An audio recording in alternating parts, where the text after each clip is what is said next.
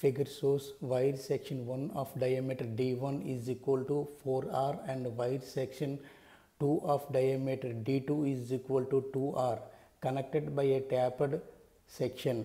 The wire is copper and carries a current. Assume that the current is uniformly distributed across any cross sectional area through the wire's width.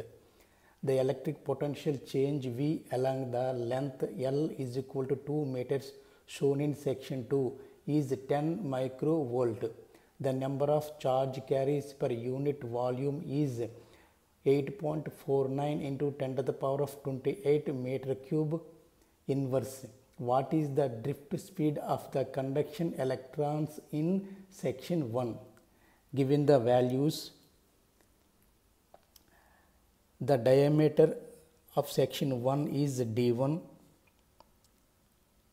d1 is equal to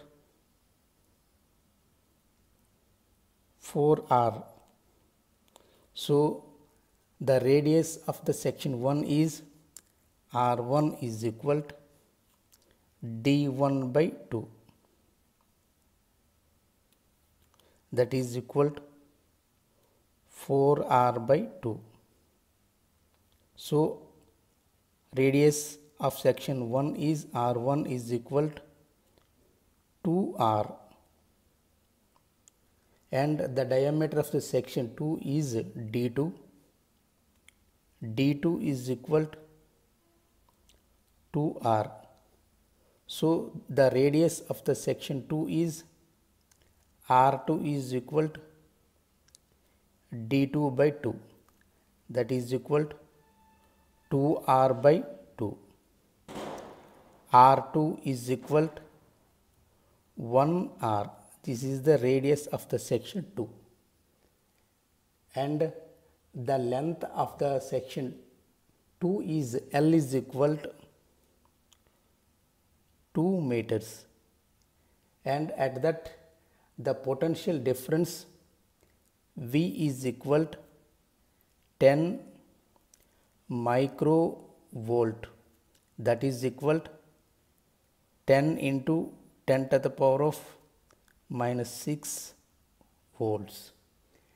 And the charge carries per unit volume is n.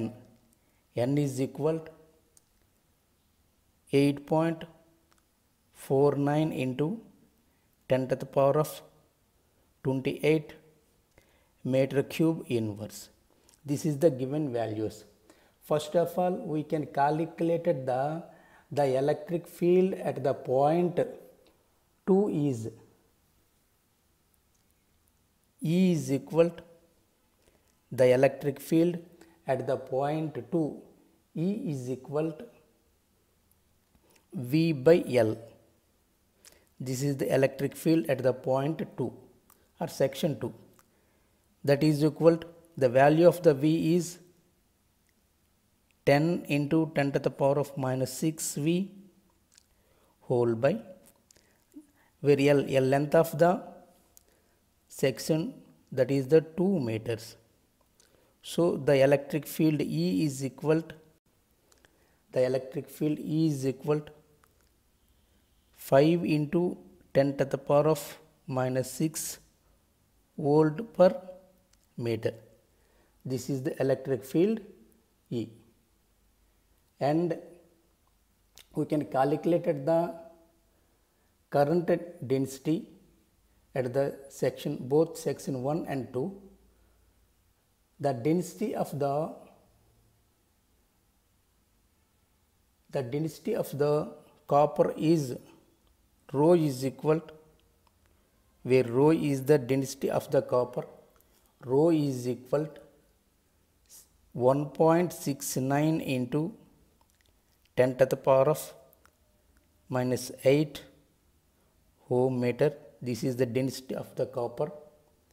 So we can calculate the current density at junction 2 is the current density at the section 2 is J2 J2 is equal to the electric field by electric field by the density of the copper that is equal to 5 into 10 to the power of minus 6 volt per meter whole by the density of the copper is 1.69 into 10 to the power of minus 8 ohm meter. So the density of the section 2 or current density of the section 2 J2 is equal to 295.86 ampere per meter square. This is the current density at a section 2. According to the conservation of electric current from the section 1 into section 2, the conservation of the current at the section 1 into section 2, I1 is equal to I2. So, the current at the junction 1 is J1 A1 is equal to the current at the junction 2 J2 A2 where A is the area of the section. So, J1 is equal to J2 A2 by A1 J2 A2 by A1 J1 is equal to the current J2 by A2 is equal to pi into R2 square whole by A1 is equal to pi into R1 square that is equal to J2 into pi into where R2 is the 1R whole square. This is the R2. R2 is equal to 1R whole square whole by pi into R1 is the R1 is equal to 2R whole square. So, J1 is equal to J2 by 4 where J2 is equal to 295.86 ampere per meter square whole by 4. J1 is equal the value of the J1 is equal to 73.96 ampere per meter square. This is the J1. So, we can finally we can calculate the current uh, density at the section 1.